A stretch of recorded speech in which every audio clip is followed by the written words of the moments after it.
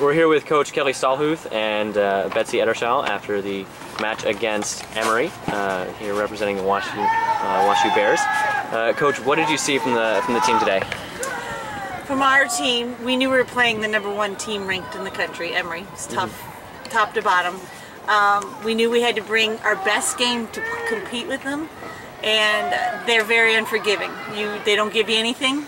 They force a lot of mistakes on us, but we knew we got here for a reason. We knew we could compete, and so we gave it our best.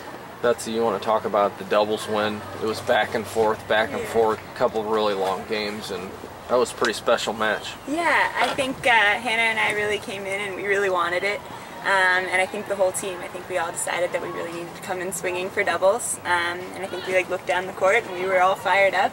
And I think Hannah and I, I think at a point at like four all, we were just like, you know what, we're done, we're gonna win this. And I think that's when we took the lead and we didn't want to let it go. Kelly, did it build build a lot of momentum going into singles play that win? It did because I know at one and two we had some good points, but Emory's one and two played really solid, and I think at our one and two we kind of didn't bring everything we had, so we were kind of bummed about that.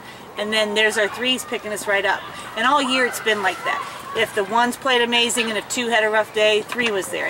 Everybody traded out through the whole year. So what Betsy and Hannah have been really solid from day one. So we've always been able to count on them. Yeah.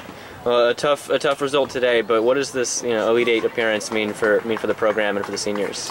Back-to-back years. We were just talking about it now. When Betsy came in, we were ranked what 15, 14, and the year before that was 21. And to keep going up every year, we went from 14 to 13, 13 to 12. And this year we're in the top 10. And it's been on their goal sheet as a freshman, but it doesn't come overnight. It's little by little, and they've helped get us to this point, and then we just said we're going to keep trying to go from here. So it's, uh, it's a feather in their hat cap, you know and it was on our goal sheet and they achieved it. So I'm proud of them. Well, great, great. Thank you, coach, and congrats on a great Thank season. Thank you very much. Thanks. Thank you.